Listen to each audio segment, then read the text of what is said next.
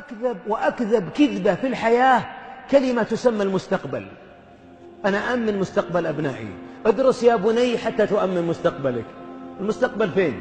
المستقبل فريق في الجنة وفريق في السعير. من قال لك أن المستقبل فوق الأرض؟ لأن المستقبل ما يستقبلك ولا تموت بعده.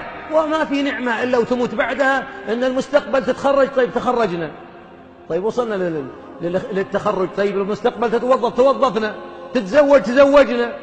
تنجب أنجبنا وبعدين إلى النار أو إلى الموت؟ لا المستقبل وهي ترب وهي الكذبة التي عذبت كثيرا من الآباء وعذبت كثير من الأبناء. مستقبل لا أقول ضيع الدنيا ولا تنسى نصيبك من الدنيا. ادرس يا بني تفوق يا بني لكن أعظم أمنية يا بني لا أن أجتمع معك في شقة تجري تحتها المجاري لا في قصر في الجنة تجري تحته الأنهار.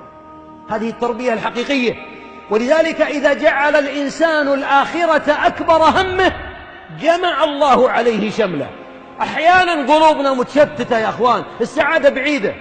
خايف من كل شيء وخايف على الأبناء وخايف من المرض وخايف من أيبولا وخايف من إنفلونزا الخنازير وخايف من يفصل من العمل وخايف وهو يصلي كل يوم ويقف إياك نعبد وإياك نستعين. أعطني أذن هذا كذبت. والله لا عبدت ولا استعنت به. لو كان الاستعانة حقه والعبودية حقه ما يخشى عبد أن يضيع في رزقه في الدنيا والذي خلقه أجرى عليه الرزق في رحم أمه. تسعة أشهر لا يدري أين هو. أليس في بطوننا حفرة؟ الحفرة هذه اللي في بطني وبطنك الحبل السري هذا. تذكرك أن الرزاق هو الله.